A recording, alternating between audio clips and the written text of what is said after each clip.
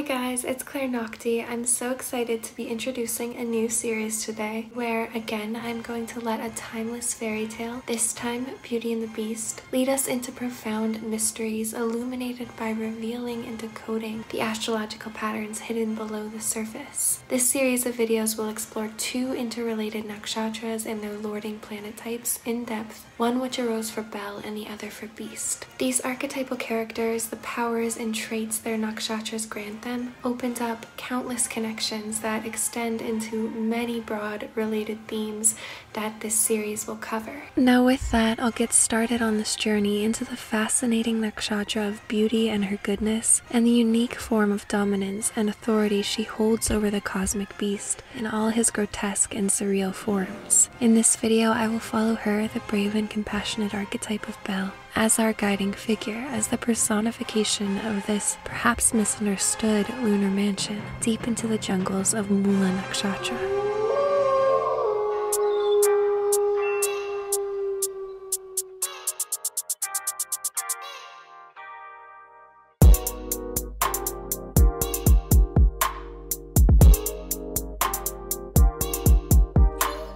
I'm here to tell you a very strange story in which 17 of our party suffered horrible deaths. Their lives lost in pursuit of a savage beast.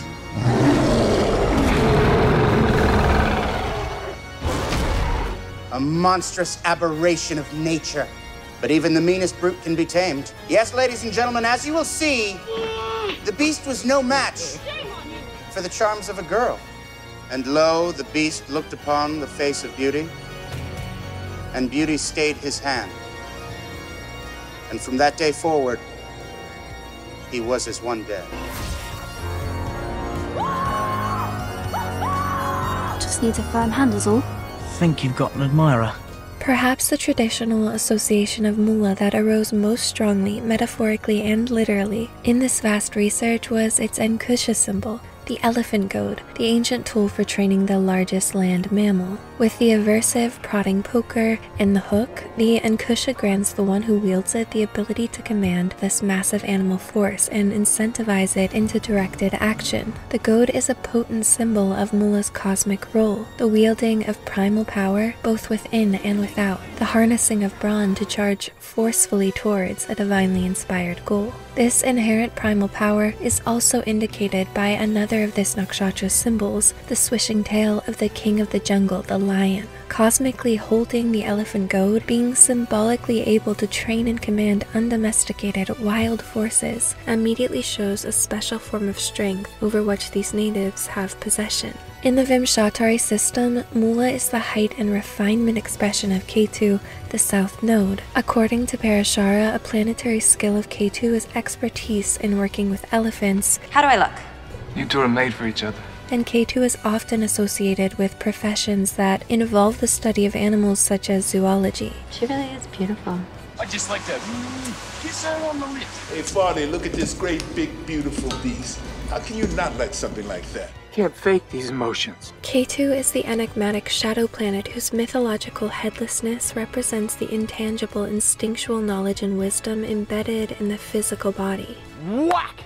He's beaten my hand, grabbed it, and just pulled straight back into the water. Luckily enough, all of my instincts came together. I went loose. I didn't go rigid. If I had gone rigid and resisted, he'd have pulled my arm right out at the socket. He dragged me into the water. I spun in the air instinctively, and as I hit the water, whack! I landed on his head. Ketu rules our past lives and storehouse of experiences, and so the area he has placed in our chart is where we animalistically mark our territory with his flag symbol. We have such saturation in the realm where he's placed that it's essentially ingrained in our reflexes and drives. We need little to no intervention of the roving analytical mind to function in the area of our Ketu, but instead do so instinctually, moved by the unconscious, and with all the raw power, natural rhythm, and firm grounding of deep familiarity. Here, one has the potential to move with all the force of the body and without the fear, dispersion, error, or inhibition of the head. Ketu's strength in one's chart is then important because he has the potential for all the good and bad dormant in a wild creature. My lord was like a wild animal that had been kept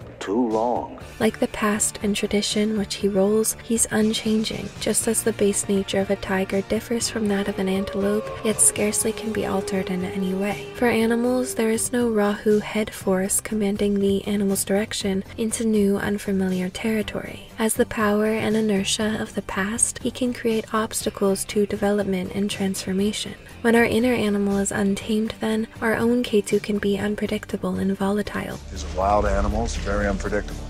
Remember your training and do exactly as I say. Or heavy, lazy, and stagnating. In this way, the various megafauna prominently present in Mula artworks symbolize the difficulty and danger in trying to subdue or control such unruly and formidable forces as well as the potential unmatched personal power, inspired action, and divine protection that comes through doing so. So, those born under this pinnacle Ketu rolled nakshatra have special control over animals in these stories, but it is due to their strong connection to their own instincts and automatic unconscious processes. They flow with the language and laws of impulsivity, fearlessness. Come get me, come on! That's it, come on! An uninhibited reflex that can cause these natives to struggle in the civilized world in ways I've explored and will explore more.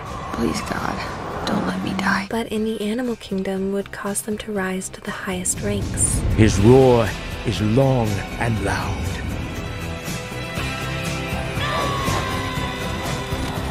A god associated with Ketu is the elephant headed Ganesha, who holds an Ankusha, representing the need for one on the path of liberation to tame and control their own ignorance. In Buddhist literature, the training of the mind is likened to training a wild elephant. To do so, it's written, one must use the tether of mindfulness and the goad of introspection. Silence. Ketu is the planet ruling liberation and the stream of insight that comes from the inner world, through which we can tap into the changeless state of universal truth, Satya. As the significator of liberation, Ketu is linked to the crown center, and Mula's function specifically is aligned with the crown's correlating sphere on the tree of life, Keter. The Sahasrara chakra represents the energetic state of liberated beings, those with the highest authority. The Muladhara chakra, whose animal is the elephant, is where our dormant life force, our animal based nature, resides. It represents raw physical power, yet is also said to indicate one who lacks self control or the ability to direct oneself like an animal. The relationship between the Sahasrara and Muladhara and Keter and Malkut can be seen as two sides of the same coin. The roots of Keter have dominion over the soil of Malkut. The crown represents the mastery and control of the base impulses of the Muladhara. Mula has dominion over the animal kingdom due to its ability to access, integrate, and direct all the powers of the animal world and body without the ignorance and lack of control of this Muladhara consciousness. It's important to understand the more practical applications of what these films are symbolizing in daily life and human interaction. Abo, it's okay. Femi Inu on station. Mula's innate animal dominance extends to obtaining control over the primal animal impulses within the people around them. The more unintegrated or unaware one is of their own animal impulses, the more then they'll feel an unconscious sense of submission to Ketu rolled individuals and especially Mula natives around them. So we'll just take it nice and easy and we'll see how well he responds to my commands. Despite what their logical or rational mind may think. This is something I'll explore the potential negatives behind in part 3. We're all gonna die tonight. Isn't that right? Of course, Mula means and is symbolized by roots, alluding to its abilities here to see to the base nature of things as well as to pull things up from their roots. Beyond the capacity of all other nakshatras, Mula natives are the uprooters, tangibly diving into this Muladhara consciousness of others. Our mission is to follow these roots until we reach the heart of Pando and stop whatever's harming it. Becoming responsible for taming, subduing, or destroying inner and outer beastliness. I'll teach that animal some manners. All for the ultimate restoration of goodness and peace. Don't worry. He's dead. Sun is the king, but is the second hottest planet. Ketu is the hottest planet of all, and those born in this nakshatra stationed in this chakra possess a special burning, seemingly wild kind of authority that goes beyond the rational and human and immediately reaches all the way to the most headless, primordial, undomesticated depths of a person. Harnessing this power, Mula is given the cosmic task of protecting the civilized, being a bridge between humans and the animal world. Yet always lived in the borderland anyway, somewhere between this world and the other. Or between people in society and their inward animal nature. Well, you should learn to control your temper. Out of the way, Dopey! The I Ching contains a metaphor, that of the pigs and fishes. The divinatory text uses this phrase to refer to the unintelligent forces that are therefore the hardest to control and most unresponsive to direction. This, of course, can be alluding to specific humans or situations and would scarcely apply in questioners' lives as relating only to actual animals. Hexagram 61 indicates, I quote, pigs and fishes are dumb animals and therefore immensely difficult to influence. If this is the arising hexagram, the text advises the force of inner truth must grow great indeed before its influence can extend to such creatures. That was amazing. Mind over matter. Oh, Bushman's trick. Here in this Song Fu hexagram, aptly called Centering in Inner Truth, Mula's cosmic place is beautifully expressed. To the mind that is still, the whole universe surrenders. One must be in touch with inner truth and the purity of their true nature, their storehouse of power that is Ketu, in order to have any control over the most untamable people or forces of reality. Satya is equated with and considered necessary to the concept of Rita, cosmic order and harmony. With Ankusha in hand and one's divine instinct fueling the movement, Mula natives are granted the cosmic authority to wield destructive, violent forces for good. That's right. Let's kick some ass. To help them in their hunt against that which acts against the cosmic order. I will explore much more in this series how Mula's presiding goddess, Niriti, is alluded to in ancient texts as a manifestation of a righteous anger against those who violate the laws of nature. She was said to have been born from Himsa and Adharma, representing the clashing of violence against falsehood, and thus this nakshatra uses nature's unmatched violent power to restore truth.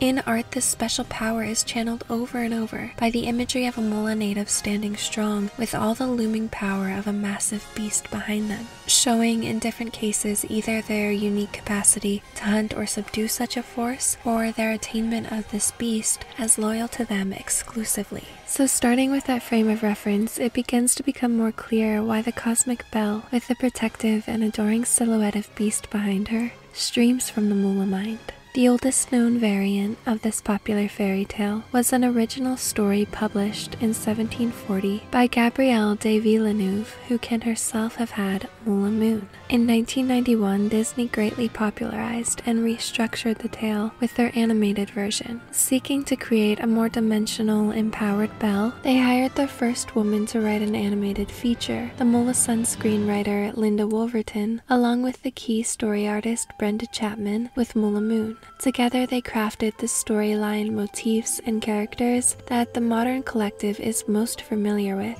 And for this video, I will largely follow this familiar and iconic Woolverton version of Belle and her story with Belle, she had to be an intellectual. She had to not be about her beauty. You know, she had to be the, the proactive one. The Belle that Woolverton created is a book loving, intelligent, and brave young woman who lives with her father in a small French town. The Disney animation team intuitively felt the Mula energies on the story, and specifically on the Belle archetype, as they modeled her character in many ways, such as hairstyle and clothing, after the Mula Moon Judy Garland's portrayal of a young woman surrounded by the friendship of once human beast like creatures in The Wizard of Oz. Even the voice actress was chosen specifically, as the director noted her voice had a unique tone with, I quote, a little bit of Judy Garland, his ideal dark and creepy. Take me instead. In the 2017 live action, this nakshatra's energies held on and came through even more markedly, with Mula Moon Emma Watson stepping into this iconic role and bringing a further increased level of independence and bravery to the character. You've taken me as your prisoner and now you want to have dinner with me?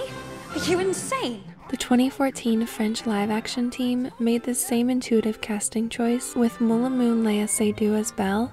Determined to unravel the mysteries of the beast, she became lost in a labyrinth of corridors and ramshackle passageways, with, at all times, the eerie sensation of being followed. Just as the creators of the 2009 Australian version did by casting Estella Warren with Mula Sun. You'll never come back.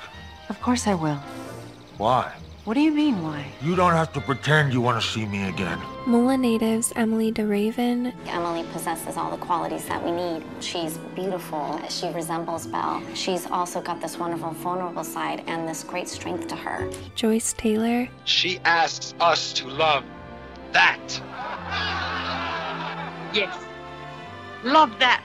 Fran Drescher, Vanessa Williams. Have you ever been around a beast like me before? You're right. I've never been around someone like you before. Now that I am, is there any reason why we can't be friends? And Amy Jackson are other Belle versions who have or can have this nakshatra.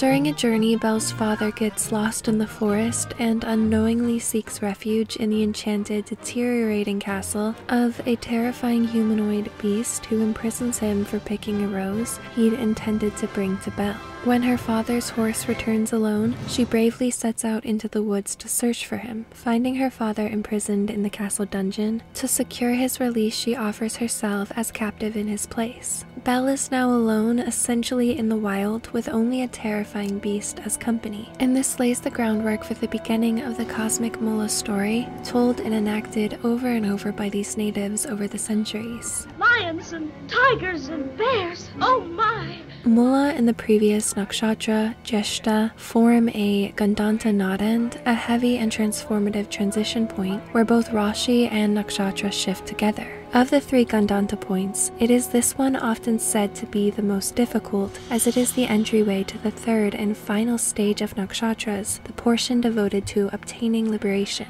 In each nakshatra stage sequence, the nine planets have a chance to enact their will in time and space, teaching their lesson at increasingly high octaves. For example, I've explored before how Venus rolled nakshatras come in at moments of judgment or harvest. Jupiter rolled nakshatras are linked to major spiritual trials and temptations. Those rolled by Mercury complete each sequence, as Mercury is the most material and tangible amongst the planets, showing the most physical manifestation of our efforts. Jeshta then deals with the solid attainment of all the goals of stage 2, the crystallized rewards coming from firmly mastering material work and conquering rivals. Thus, this is the billionaire nakshatra of worldly power. It's linked as well to Ketu's exaltation here, showing your standing on all of your work in the past, so this leads to wealth. You've accumulated the time and energy to focus on spiritual topics, wealth no longer being an issue, being debt free. On the other side of the knot comes the Ketu ruled nakshatras, who begin each sequence. They hold the buried knowledge of the past stage deeply now rooted within us, and under Ketu's initiating control, we learn what we'll be grappling with over the coming sequence. Here, like the aces in the tarot, we realign with all the pure energy and force of our instinctual inner nature, which, if properly accessed,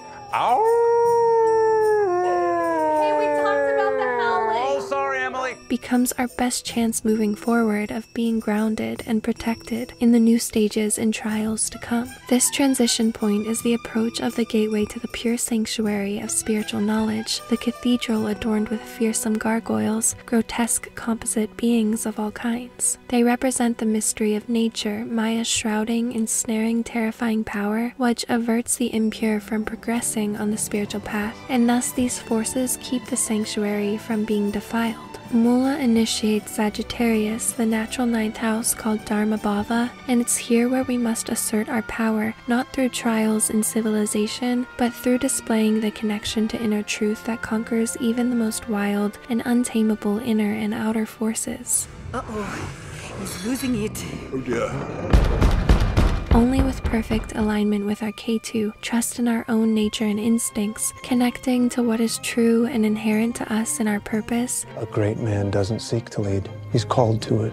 And he answers. Do we snap into inspired action, stability, and inner guidance that will protect us on our challenging journey forward, where we will need to harness both the power of the body and the mind? In this way, Mula films are packed with the rich symbolism of an individual entering the jungle alone, the territory of the beast. Do you suppose we'll meet any wild animals? Mm, we might. as an initiatory form of testing their inner power and personal purity against nature's culling. Here they are assessed not by their adherence to man made laws, but their grip on the laws of the jungle in the hands of Mother Nature. The myth of Matsya, the Ketu avatar of Vishnu, alludes to the Indian law of the fishes, an equivalent to the Western law of the jungle, according to mythologist Yves Bonnefoy. rules of the jungle. You knew that the other lions would kill him to protect their pride. Every animal got rules. I don't think it eats you if you don't look it in the eye. In most traditional instances, this jungle test includes the need to hunt a dangerous animal.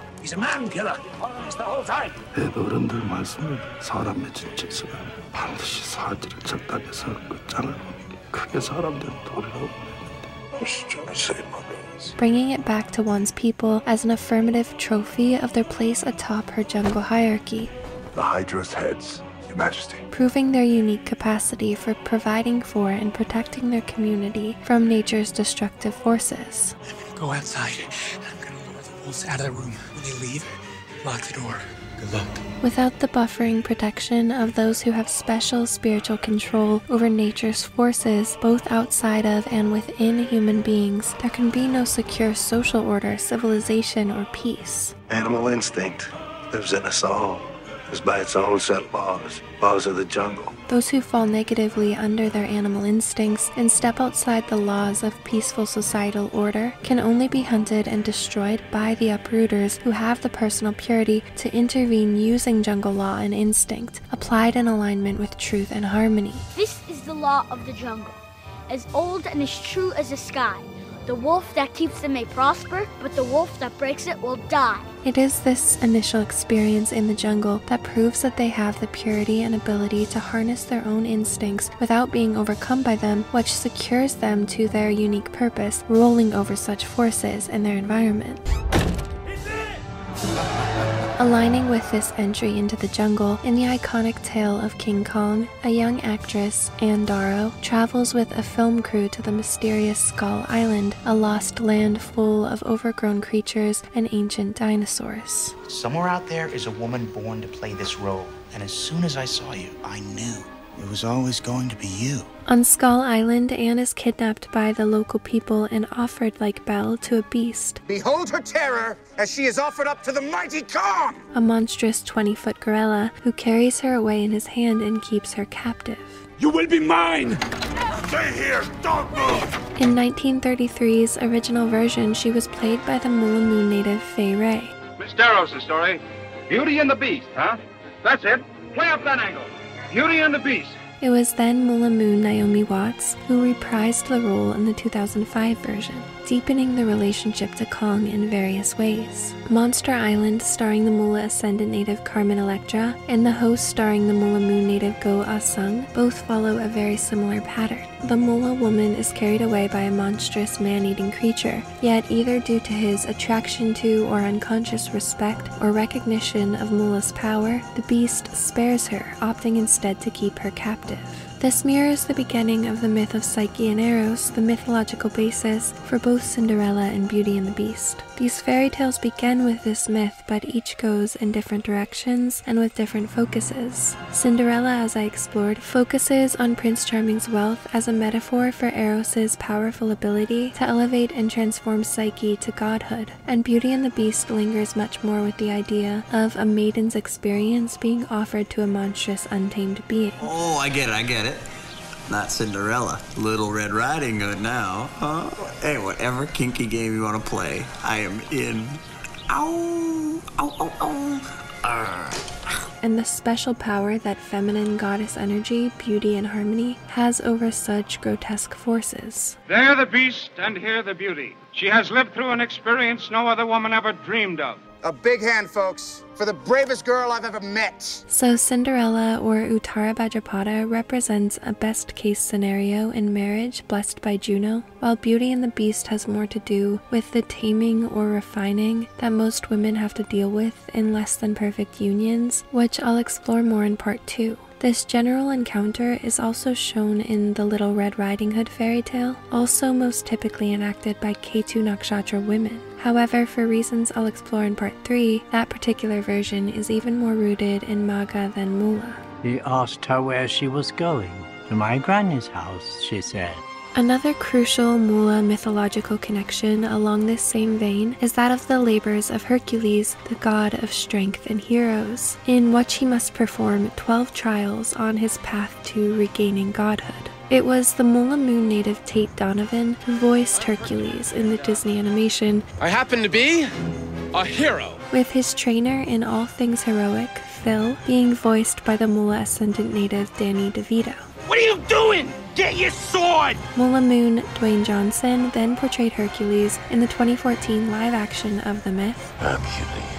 A retelling which was based on a graphic novel by Steve Moore, also a Mula Moon native. Nearly all of Hercules' labors involved the killing, driving out, or capturing of indestructible beasts and monsters. I've beaten every single monster I've come up against. I'm, I'm an action figure. Such as the slaying of the giant Nemean lion. This was no ordinary beast. It had a hide so tough no weapon could penetrate it. And the nine headed Hydra, the shooting of the man eating birds of the Stymphalian marshes, the capture of the mad bull that terrorized the island of Crete. But even this monster was no match for the son of Zeus. The wild boar of Mount Erymanthus, and the man eating mares of King Diomedes, and the three headed monstrous dog, Cerberus. The very first film role of the Moon Arnold Schwarzenegger was Hercules in New York, in which the demigod comes to Earth, falls in love, and battles a violent bear who has escaped from the zoo. The old ones say we Spartans are descended from Hercules himself.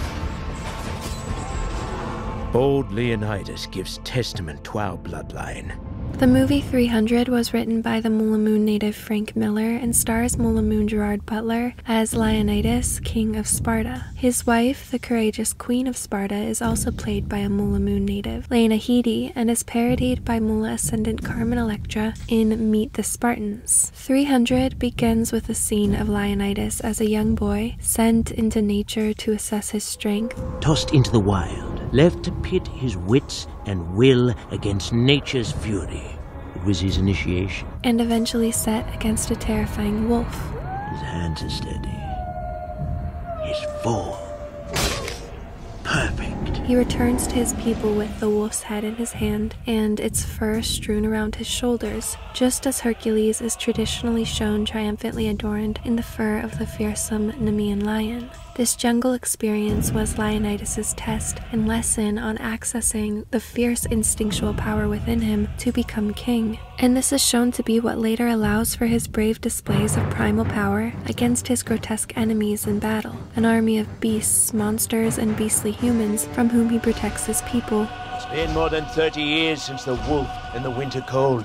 Now, as then, a beast approaches. This beast is made of men and horses, swords and spears. Just as Dwayne Johnson's Hercules does. Schwarzenegger famously starred in Predator, a movie in which he leads a military rescue team into the jungles of Central America. After finding a string of dead bodies, the crew discovers they are being hunted by a brutal creature with superhuman strength. If it bleeds, we can kill it. It kills his crew one by one, but the Mula native is more attuned to it. Don't! Leave it! It didn't kill you because you weren't armed. No sport. He studies it carefully and determines how to harness what is available to him in nature to destroy it when his modern weapons have no effect, removing the threat when others cannot. The most recent addition to this franchise was 2022's Prey, fascinatingly also starring a Mula Moon native, this time Amber Midthunder as Naru, a Comanche healer who desires to be a powerful hunter for her community. To prove herself, she must traditionally battle a mountain lion as a form of initiation. It's time, Naru. When the lion comes, you tell that thing, this is as far as you go. You've never faced a lion. Its mouth full of teeth like arrows. Claws of black steel. fur as dark night. Ready to tear your flesh and crush your bones. Instead, during this hunt, she encounters the same species of alien hunting her people. I saw what left those tracks. A bear? There was a bear, but there was something else, and it was huge. I couldn't see it until it was covered in blood, but it looked like like a moot beats. You saw a monster from a children's story? When no one else in her party is attuned to it or can kill it, it's she who bravely and with deep, fearless fixity, like Schwarzenegger, stalks, studies, and eventually kills it by using its own strengths against it, protecting her tribe. Like Hercules and Leonidas, Naru returns heroically and triumphantly to her people with its head swinging from her hand. Both films intuitively include major hunting moments with the Mula native positioned in front of a root system. The juxtaposition of the uprooted tree and the beast that's about to be killed conveys this idea of Mula as that which destroys, uproots negative destructive forces acting out of alignment with the cosmic order. This is as far as you go. No more.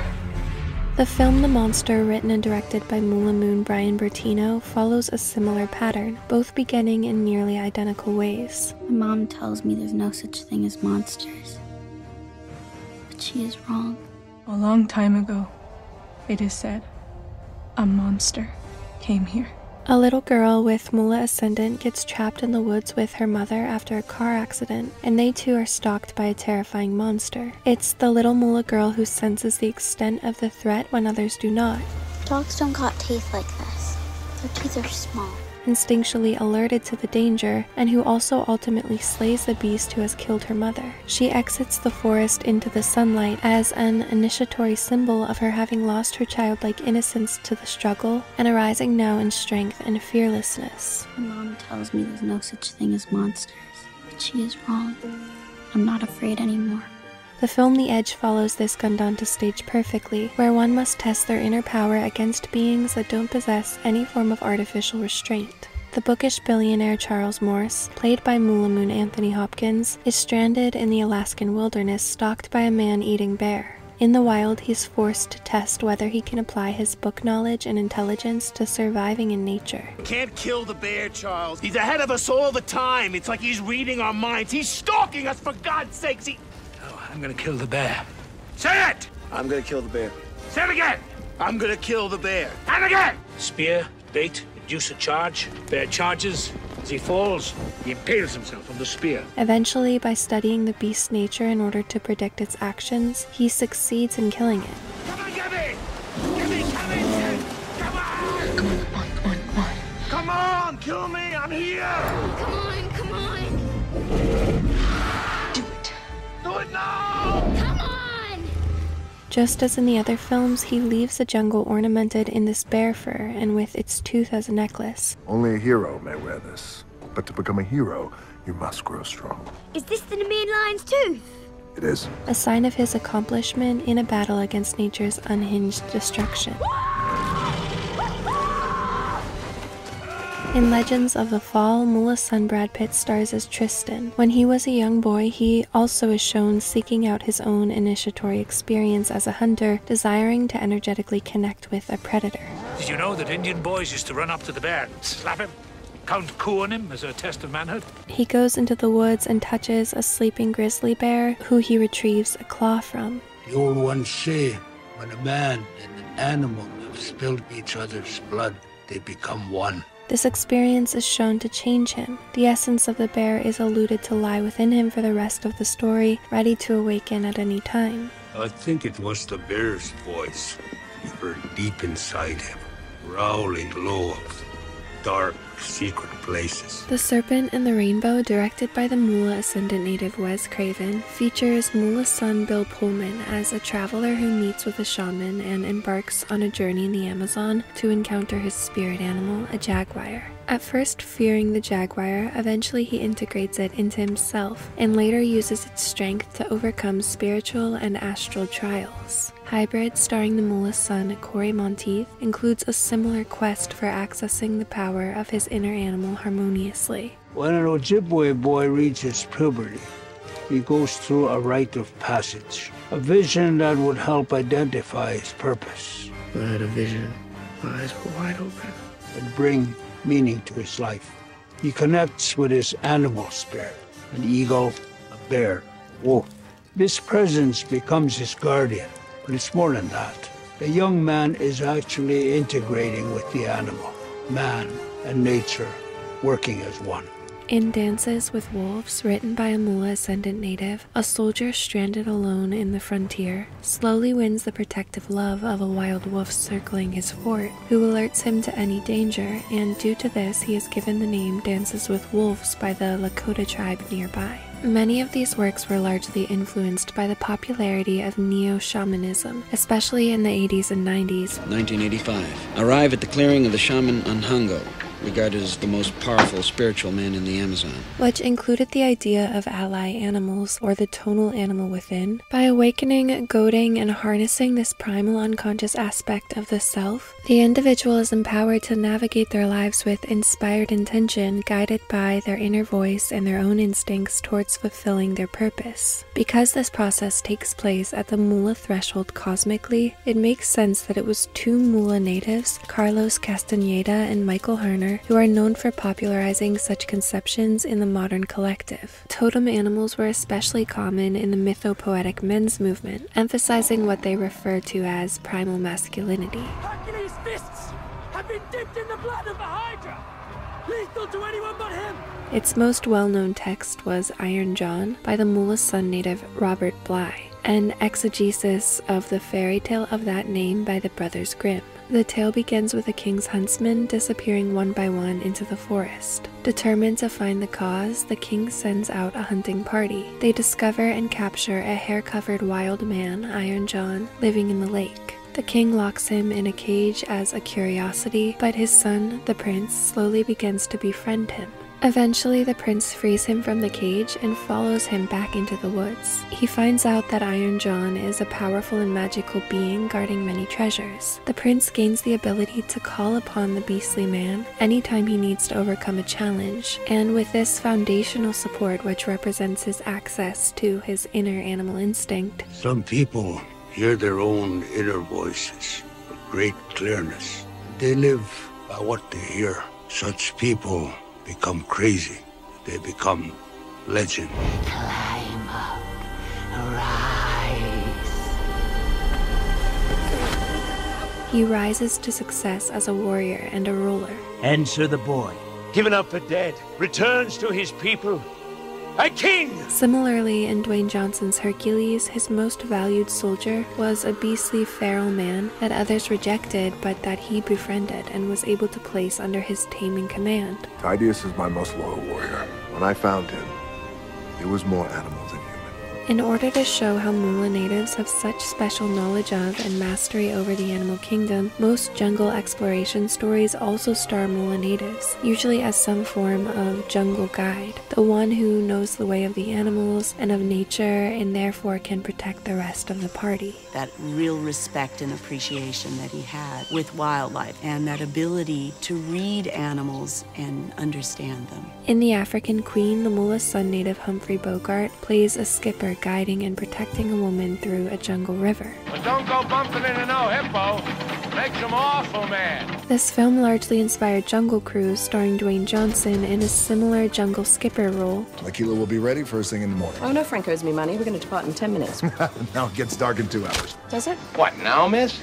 Yes, now. Well, there ain't two hours of daylight left, miss. I'll have to get the old kettle to boiling and Well, do so, Mr. Orner. Who markets his protective power to potential customers by fighting a jaguar, but it's revealed that he actually has the wild animal completely tamed. You did good, Proxima.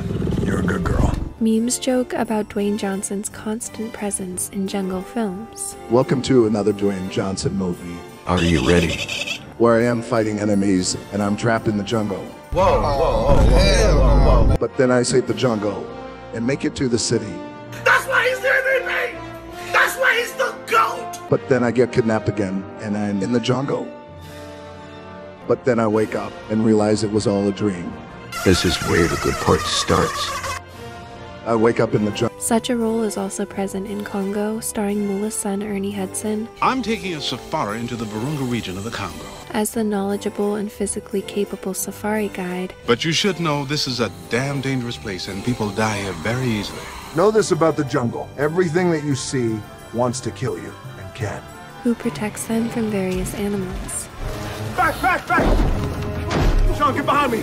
In the film Jungle, it is Mula Moon Thomas Kretschmann who leads a party of young travelers into the wilds of Bolivia. There's nothing like the jungle at night. Don't worry, no one starves in the jungle. In the jungle, the rivers are your best friends.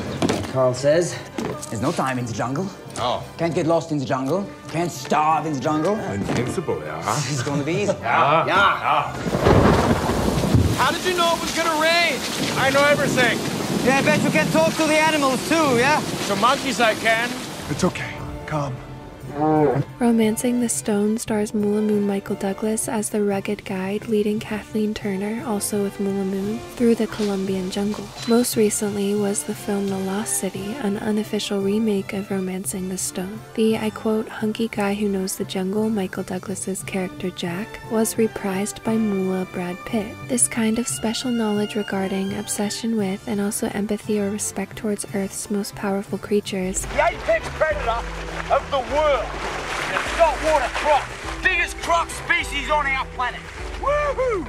Go, boy! is seen in case study examples in the Mula Ascendant native Steve Irwin called The Crocodile Hunter. He had this amazing understanding of all wildlife behaviour. In turn, because he could understand the animals, the animals were always far more comfortable with Steve as well. He began his career by willingly going out into the Australian bush to wrangle, capture, and transport crocodiles who would be in danger from poachers in the areas they were located. It's really hard to express how much I love him, but seriously, if I could kiss him on the lips, I would. He's been called a real life Crocodile Dundee, referring to the crocodile hunter, same exact type of role, of the Mula Ascendant native Steve Hogan in the 80s Crocodile Dundee series, Yeah, see, a croc will grab you, take you down to the bottom of the water. as he leads the female protagonist through the wild in a strikingly similar way to Romancing the Stone. I mean, if you had any kind of manners, if you. Uh, Aborigines, well, like all God's creatures, they just want the right to roam across the earth and be left in peace. In both cases, he grabs or kills a snake threatening her, something mimicking the power alluded to in Hercules' myth.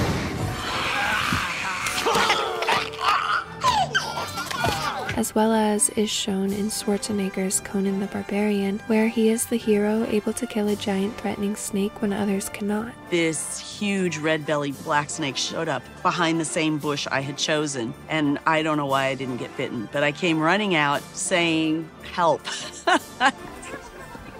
still, stay very still. It's fascinating how, in real life, mirroring these fictional works, footage of Steve Irwin on his honeymoon shows the way he saved his wife from a poisonous snake in the Australian outback. Take it easy, Black Snake.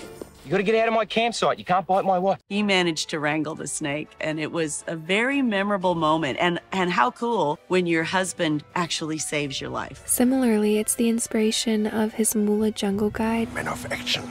that inspires Daniel Radcliffe's character to have the courage to kill a snake for his survival when he's lost and stranded.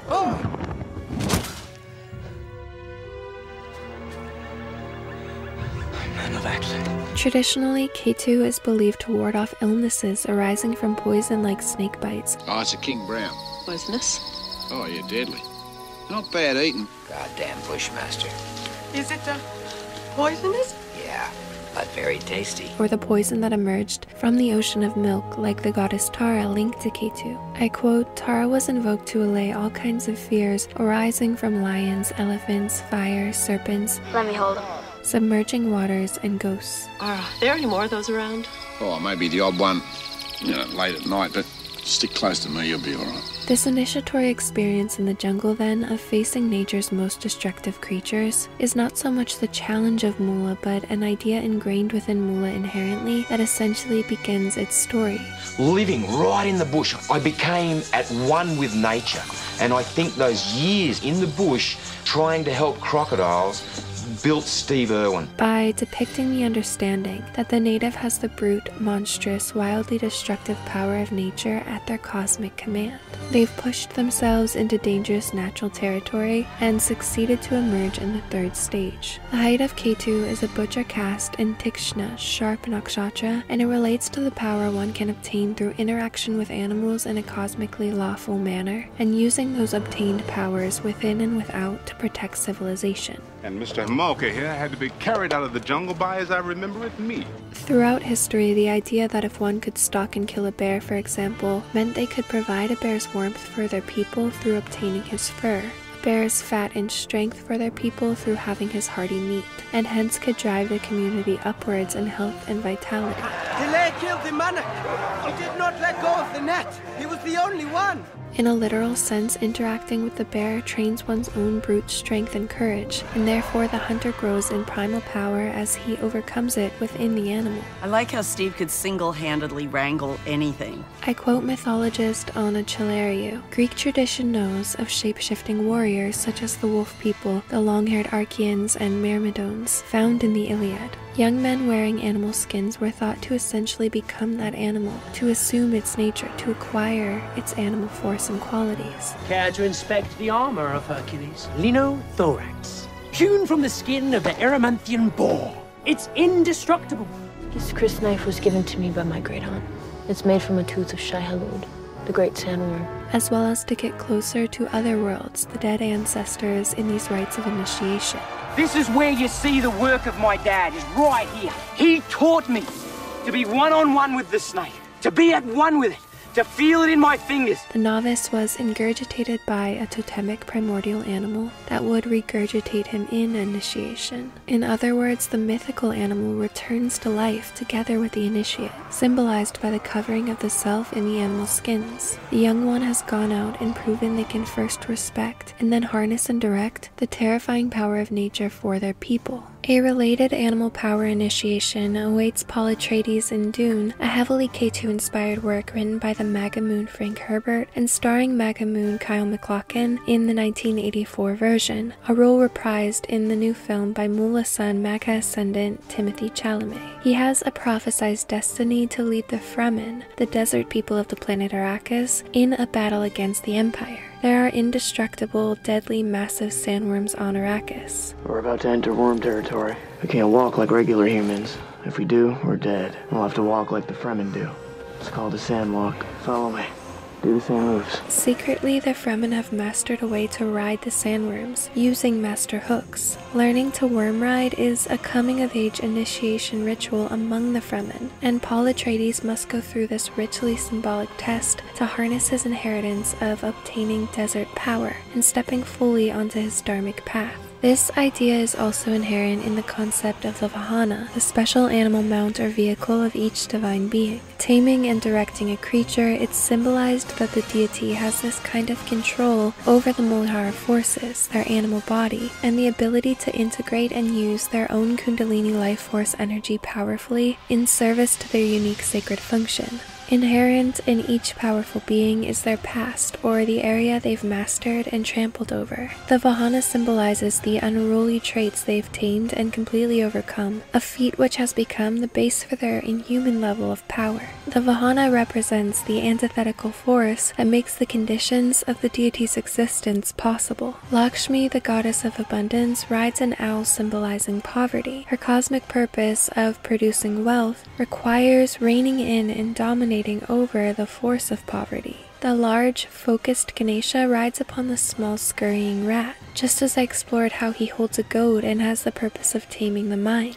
He crushes useless thoughts, which I quote, multiply like rats in the dark. This also shows how he has mastered cosmic smallness to obtain the condition of largeness. In the height of Ketu ruled nakshatras entering the liberation stage, this overarching idea becomes most important. One closing note before the next section is that this indication of mastery over one's animal strength is of course also present in what I've touched on before, Mula being a primary nakshatra known for bodybuilders. This is fittingly said to be the birth nakshatra of the heroic warrior god Hanuman. His alternative names include things like Kapishwara, Lord of Monkeys, Mahabala the strongest one, and Mahakaya gigantic. And not many people know, but he had like orangutan hands. I mean, they were huge. One of the primary symbols of the god Hercules were his muscles. You have to continue to grow.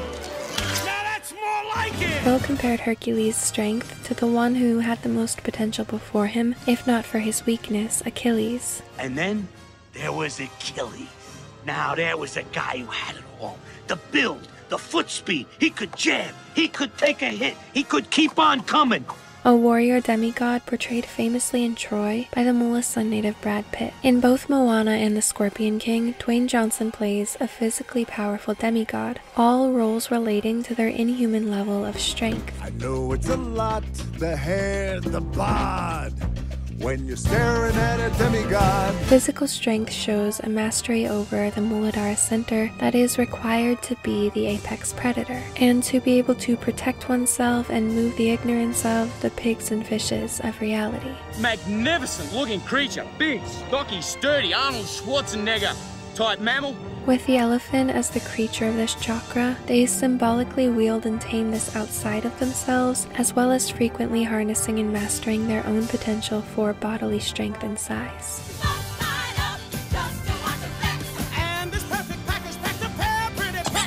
Many of the most famous bodybuilding workout routines, helping other men or women to try to access their own physical power, are inspired by Mula men. Do you keto, by the way? You look like you keto. No, no, no. Yeah, you don't need it. such as the Fight Club workout craze, the 300 workout, the workouts of the Mula Moon native Pavel, On your left is Hercules Villa. Our next stop is the Pex and Plex gift shop, where you can pick up the great hero's 30 minute workout scroll, Buns of Bronze. and of course one of the most influential bodybuilders of all time, Arnold Schwarzenegger, who helped make bodybuilding into a professional sport. I'm gonna check in with my office. I'll be right back. When we do, we're gonna work on opening those hips. So now returning to Beauty and the Beast, Belle is now captive in the Beast's enchanted castle, deep in the forest, as he looks upon her adoringly, and Ann Darrow is captive in the oversized but gentle hand of Kong. At this point in the story, Belle attempts to escape from Beast's castle. As she's making her way through the forest, she's confronted by a pack of wolves. Beast, who has been stalking her from a distance, appears behind her, as strong as these wolves but directed towards her protection, rather than in a state of unhinged destruction. Belle's attitude towards him shifts, and after he's injured, instead of allowing her captor to die, she returns willingly to the castle with him to nurse him into health. This experience is mirrored in King Kong, where Kong protects Anne from dinosaurs and keeps her safe on the treacherous island. A scene shows Anne's similar shift in perspective regarding the beast here, so intrigued by the primal force used in her favor. Now, instead of running away from the beast, she begins running towards him. Mowgli, played by a double Mula native in Disney's live action version of The Jungle Book, is saved from one fearsome creature by another fearsome creature all throughout his story. Mowgli, behind me. Don't leave my side. In Mula Ascendant Wes Craven's film Swamp Thing, a woman is rescued from attackers by a monstrous creature. The Swamp Thing then takes her back to his lair and protects her from further harm. This monster versus monster is a rather constant theme leading to romance in Twilight, the series by the Mula native Stephanie Meyer, which I'll explore more later on. You're not the first monsters I've met. Jake's right. You're good with weird. In countless other scenes, even when the beast isn't protecting the Mula native, they recognize the immense power of the creature when they see it easily destroy another apex predator.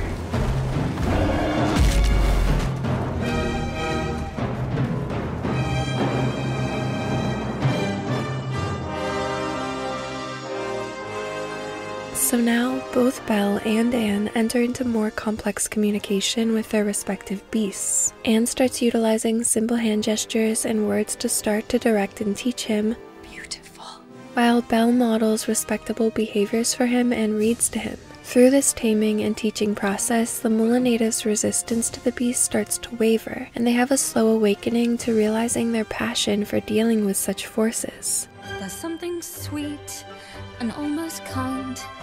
But he was mean and he was coarse and unrefined. And now he's dear and so unsure. I wonder why I didn't see it there before. Fierce Creatures starring Mula ascendant Jamie Lee Curtis and Holiday in the Wild starring the Mula Moon native Kristin Davis both follow cynical or disillusioned city women who, by chance, are placed in a situation around a wild animal. One in a zoo with a gorilla God, he's so male. Yambo, look. Isn't he wonderful? and the other on safari with an elephant. I'm going with him. What do you know about elephants?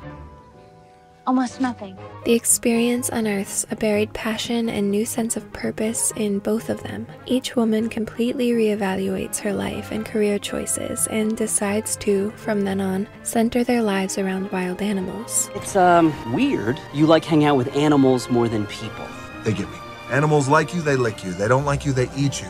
So you always know where you stand. thing about elephants, they read your soul. You never get any of those type of surprises. You don't wake up one day and someone doesn't love you anymore. Well, clearly, I'm with the wrong species. Similarly, in Instinct, Mula Moon Anthony Hopkins initially begins as a primatologist on a research trip to Africa. However, studying the gorilla community, he is emotionally drawn in. I liked them. I even needed them. He works to win the trust of the alpha male and is eventually welcomed into their social structure, an honor that leads him to abandoning his human life completely. She's not going. She's in love. She told you that? Uh, don't flatter yourself. It's not you. He has a great trunk, weighs 600 pounds, and he has a drinking problem. Yeah, I guess I never saw that coming.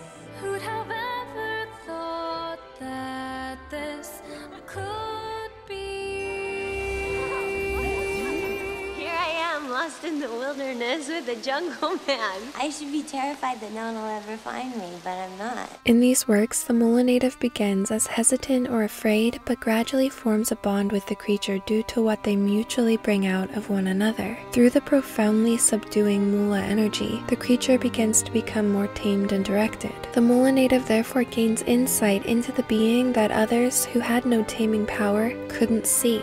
Woo, she's starting to settle down now. Get off me. Nice and quiet. Look at her.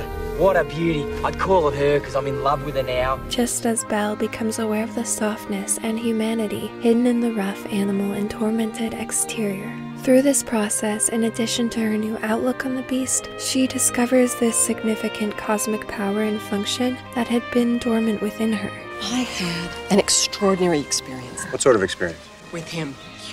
You couldn't possibly understand. I don't turn you on anymore because you've got the hots for a gorilla. Ah! It's not sexual. I have explored before how Ketu rolled Nakshatra natives can struggle in the modern world in various ways due to their impulsivity, lack of self awareness, fearlessness, and uninhibited behavior that would benefit them amongst nature and animals. Now remember, kid, first analyze the situation. Don't just barrel in there without thinking. These same traits can make them seem wild, brash, or uncontrolled within the fabric of society. Tristan's always been wild. You love him for that. Yeah, I suppose I do. Ancient cultures had more involvement and reliance on natural and animal products, hunting, transporting, and training of wild animals for various purposes like war. Very healthy. Over time, humans have become more and more removed from nature and oriented towards the artificial. There was previously more emphasis on these individuals' special ability to direct, rein in, and domesticate natural wild forces to perform tasks. In that way, Ketu is connected to the oldest traditions that sustain civilizations at the root. You have strength. You shall be known as Usul, which is the strength of the base of the pillar. Through the harmonious harnessing of nature for our survival. In modern times, then, Ketu Nakshatra natives can feel they have trouble fitting into society. You're perfect. Look at you. You're the saddest girl I've ever met. You're gonna make them weep, Anne. You're gonna break their hearts. Feeling like a force of nature entering into and trying to function in a tamed and artificial world where they do not always have a strong power center or blatantly common purpose. The villagers say that I'm a funny girl, but I'm not sure they mean it as a compliment. Sorry. The animated film The Croods actually depicts all of this in an oddly perfect way. It focuses on a family of cave people with a Ketu world patriarch, Grug, voiced by the Mula native Nicolas Cage. When most cave families have died due to the harsh conditions of their prehistoric time, theirs lives on due to Grug's Herculean physical strength against the massive beasts. The Croods made it because of my dad.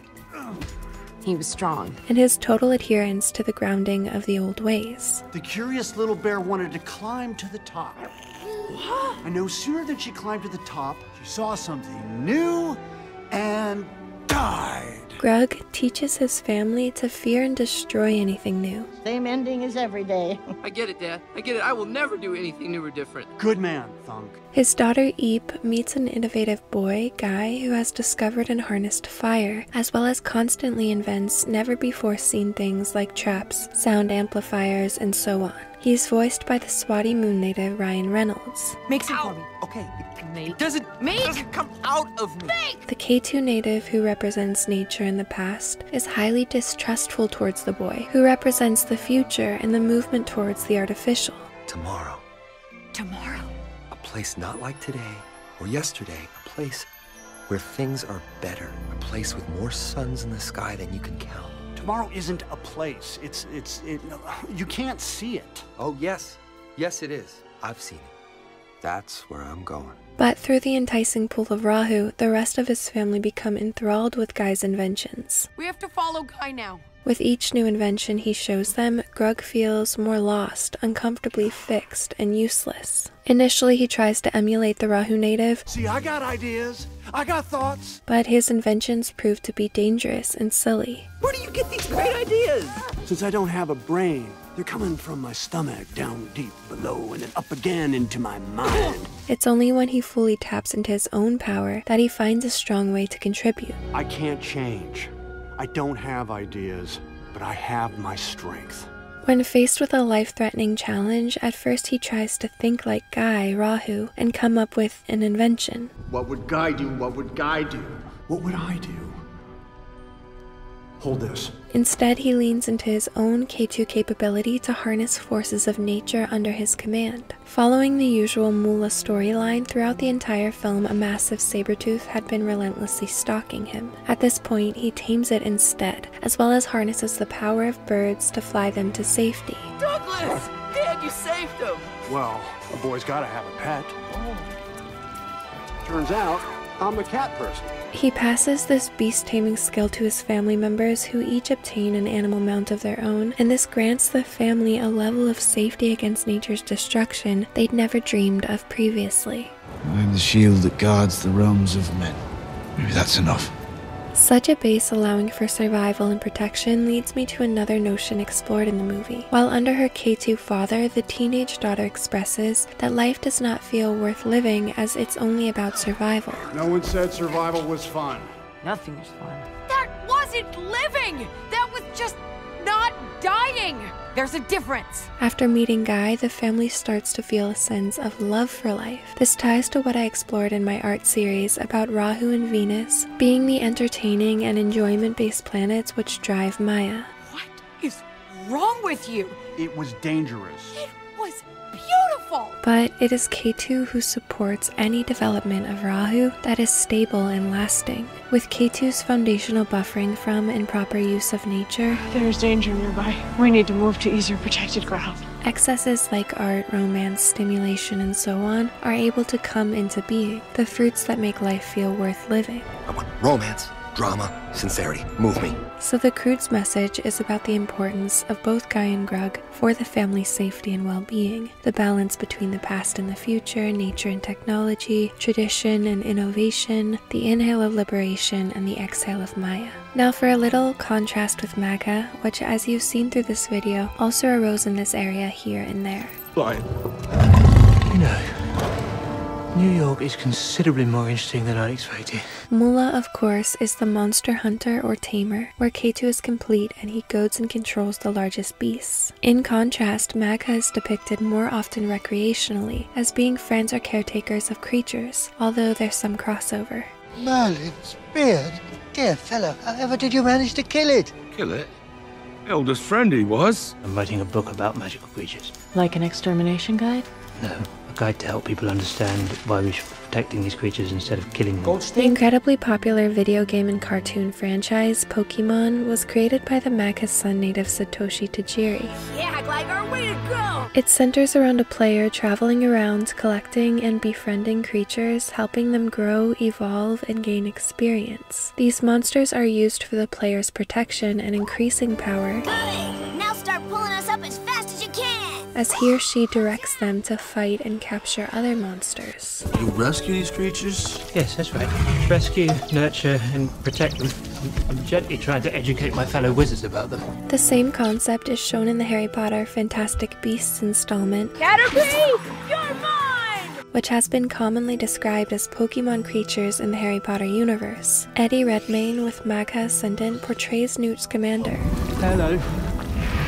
Hello. A magician passionate about magical creatures, He had a cold. He needed some body warmth. studying them and capturing them in his magic briefcase to keep them safe and nourished. The other primary magi zoologist explored in Harry Potter is, of course, Hagrid, He'll have to be trained up a bit, of course. Hogwarts gamekeeper who breeds and protects the game, played by the Magha Ascendant native Robbie Coltrane. Isn't he beautiful? Oh, bless him. Look, he knows his mummy. I'm coming. Mum's here. Mum's here. Mummy's here. He's also the professor of the care of magical creatures for a time, Isn't he beautiful? teaching people how to feed, maintain, and breed them. You have to let him make the first move. It's only polite. So, step up, give him a nice bow, then you wait and see if he bows back. In both Okja and Lilo and Stitch, a little Magha girl befriends a creature. 10,000 BC follows a Magha moon mammoth hunter who saves and befriends a beastly saber-toothed tiger You must remember me. I gave you life. Who later also protects him in battle. The Disney classic Dumbo follows a little circus elephant with unusually large ears that allow him to fly. It was based on Magha Moon Helen Aberson's book, and the live action was directed by the Magha Sun native Tim Burton. He cast the Magha Ascendant Eva Green, who plays the trapeze artist who forms a special bond with Little Dumbo. Eventually, she helps to free him into the wild by flying on his back and directing him to safety. We're wild animals. That's where we belong. That's right.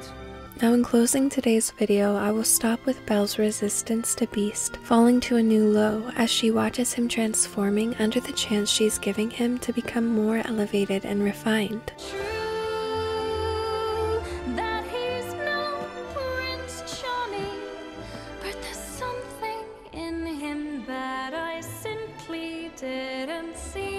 This arc of emotions found in both King Kong and Beauty and the Beast is encapsulated quickly and succinctly in parallel scenes in Harry Potter and the Wizard of Oz. In both, the Mula woman encounters a beastly creature in the woods. For Dorothy, it's the lion tormenting her friends. In Harry Potter, it's Hagrid's giant brother, Grawp. Like Kong, Grawp has immediate interest in the Mula woman. He uncontrollably and impulsively grabs her into his oversized hand, evoking a scream. Quickly, she gathers herself and asserts her fearless taming power on the monstrous one. Put me down! Now! Shame on you! No! I said no! I told you to join me for dinner! And I told you no! In the same way, Kong is confused and taken aback when his scaring tactics do not move Ann Darrow from her firm, brave assertion. You know, any living creature needs to know who's in charge. They can sense when a man's power is, shall we say, in full strength. Can't do anything with a bull without a bull hook, can you? And with it, you must claim the role of master immediately. For a few moments, he struggles against what he feels is the subdued submission building inside of him, but finally surrenders under her energetic direction. Ann, Hermione, and Dorothy each place herself where she belongs, atop the jungle hierarchy. Just needs a firm hand, is all. That hurts! If you'd hold still, it wouldn't hurt as much. displaying the inner fixity and courage that animalistic beings sense and obey. This is an idea contained within the famous Litany Against Fear in Dune. I must not fear. Fear is the mind killer. Fear is the little death that brings total obliteration. A recitation Paul was taught to learn to control his mind even in the hardest of moments in order to properly wield his power. It's not fear that grips him, only a heightened sense of things. I'm not afraid of you. I quote Screen Rant The goal of the litany against fear is to help the mind overcome the primal instinct to recoil or flee when facing pain or terror. When we touched, she didn't shudder at my paw. By controlling their emotional reactions, cultivating a still mind, When the worm approaches, you must be utterly still. and conquering fear, a person can remain aware and ready to strike at the real threat. Now, can you control your fear? According to the Bene Gesserit, humans incapable of surpassing their most basic instincts are doomed to be controlled by them, frozen and paralyzed by fear, and unable to ascend to a higher level of consciousness. I hold at your neck the gom jabbar. This one kills only animals. Your awareness may be powerful enough to control your instincts. Your instinct will be to remove your hand from the box. If you do so, you die. What's in the box? Pain. What is this? This is a chemical burn. It'll hurt more than you've ever been burned, and you will have a scar. What are you doing? Fear blinds animals and stops them from evolving. First, you have to know, not fear, that someday you're gonna die. You don't know how this feels. Thus, to truly be a master over beasts, one mustn't be confined under the same weaknesses. Careful. They could smell fear. Dancing with me doesn't scare you. Admit it, you're disgusted by my beastly body. You're terrified of my razor sharp claws. I must admit they're quite impressive. You know, most girls are afraid of bugs. But I'm not. In fact, I think you're kind of cute. A young goanna is going to be feisty. The fact that he could pull it out and that animal stayed calm in his hands tells me that his his heart rate was down, Steve was in good shape, and then so it just transferred right on to the animal. With acknowledgement and respect for the display of this power, Grawp sets Hermione down in submission. At this, her friends notice the giant has formed a deeper care for her. Think you've got an admirer. As a physically powerful being who is out of control of his own actions and steeped in animal ignorance, it is this direction, containment, and control asserted on him which he craves and in which he finds relief. He turns around to retrieve his favorite bell and gives it to her in hopes that she'll enjoy it. At this moment, you also see the transformative shift in Mula's perspective. Her heart melts for this monster, realizing its potential for goodness when placed under a taming force. She rings the bell, smiles approvingly, and her affection grows in return. This leads to the territory that the next videos will explore. Only she who tames can see the potential for beauty in such a beast, as it's only she who can bring it out of him.